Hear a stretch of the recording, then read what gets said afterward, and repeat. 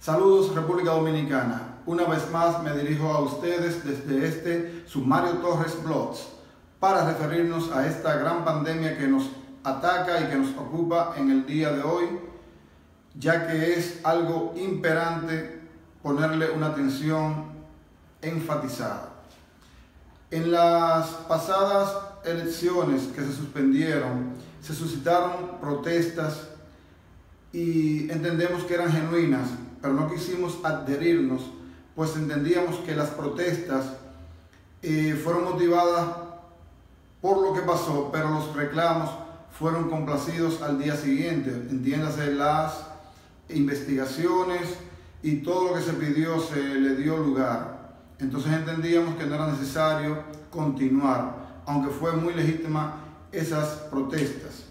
En el día de hoy sí quiero elevar mi voz ya que realmente estamos viendo que un asunto de vida, como es la salud de todos nosotros, y que sobre todo a nivel del mundo se están tomando prevenciones importantes para evitar la contaminación de toda una nación y en este caso en nuestro país el Estado representado por el gobierno. Y esto no es político. En este momento no me importa Leonel Fernández, Luis Abinader, ni Danilo Medina.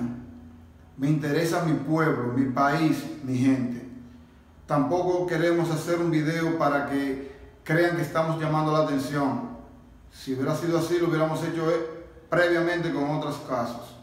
Lo que queremos es crear conciencia de que aquí la clase política, los comerciantes y los malos comunicadores tienen este país a como ellos les da su santa voluntad. Y siempre hemos dicho que ellos son los que tienen el poder, pero que en contubernio hacen lo que quieran y mantienen a este pueblo sometido para evitar que se desarrolle y que si lo hace lo haga de manera lenta y paulatina. En realidad, eh, nuestra gran preocupación es que, por ejemplo, tenemos un caso eh, que se ha hecho muy sonoro, de una señora que se le auscultó, dio positivo y se le dejó ir sola, se dejó a su libre albedrío para que se ubicara en su hogar sin ninguna custodia. La señora pudo haber contaminado no se sabe cuántas personas y estas a su vez a otras. ¿Es eso responsabilidad? ¿Es eso el papel del Estado? Pero por otro lado, vemos que aún se han tomado medidas importantes para cerrar las fronteras, más bien la frontera física, terrestre, pero las fronteras aéreas en los aeropuertos, donde inclusive nos mantenemos receptivos a los vuelos donde emanan los mayores focos de esta gran enfermedad que es el coronavirus.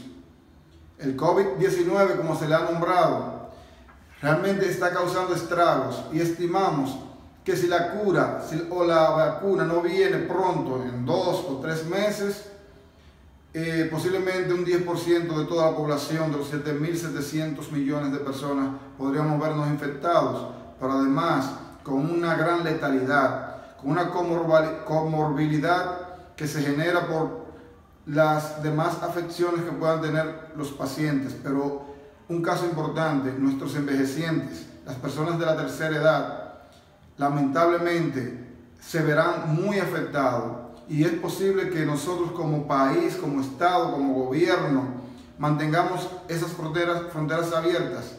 En todo el país, en todo el mundo no existen las camas de UCI, entiéndase, entiéndase perdón, unidad de cuidado intensivo para albergar la cantidad de personas que pueden eh, infectarse. Entonces aquí, donde gracias a Dios nuestro clima tropical podría protegernos un poco, pero aquí todo es dejar pasar y eso no está bien. Creo que nosotros como pueblo debemos levantarnos a reclamar el cierre de todas las fronteras físicas, terrestres, aéreas, y el contacto con todo foco de contaminación, porque cuando el daño esté más arraigado, arraigado en nuestro país, tendremos que lamentar lo que no hicimos hoy. Posiblemente para este 15 de marzo las elecciones podrán darse, porque de manera irresponsable, y no estoy llamando a que no se vote, no estoy de acuerdo, estoy de acuerdo con la constitución de que debe haber eh, elecciones, de, en este caso como ya se suspendieron, tenemos elecciones extraordinarias, sin embargo, eh, aquí nos está midiendo eh, las consecuencias, porque en, las, en los grandes conglomerados es de donde saldremos la mayor cantidad de infectados. ¿Y los políticos qué hacen? Nada. Simplemente promover sus candidaturas, sus aspiraciones, sin importarle el soberano, el pueblo. Quiero lanzarle un reto al pueblo dominicano. Ya posiblemente estas elecciones no podremos hacer nada, pero para mayo, si la situación continúa y no se han tomado las medidas necesarias, vamos a boicotear todo proceso electivo por la razón de que a esa clase política no le importa el pueblo dominicano, no le importa la economía real y los beneficios que pueda tener nuestro pueblo. Les importa, les importan sus intereses particulares. Así que pueblo dominicano, toma conciencia. Están dejando que nos invada una peste y ellos, cada uno de esos funcionarios y altos eh, funcionarios y comerciantes, tienen posiblemente un respirador, un ventilador para, para sí, si ese fuera el caso pero nosotros lo tenemos. No, no hay un país en el mundo que tenga la capacidad de albergar a todo, eh, a todo e, ese conglomerado que se puede infectar. O sea, no hay tantas camas para cuidado intensivo y además los ventiladores escasean y son caros. E igual los estudios no se están haciendo. Y aquí la gente entra por sus fueros en los aeropuertos vamos a elevar nuestra voz. O se nos respeta, se toman las medidas, o aquí vamos a boicotear todo proceso electivo, porque a ellos solo les interesa sus beneficios, llegar al poder para así alzarse con fortunas o con todo el poder que esto le genera. Hasta pronto, dominicanos.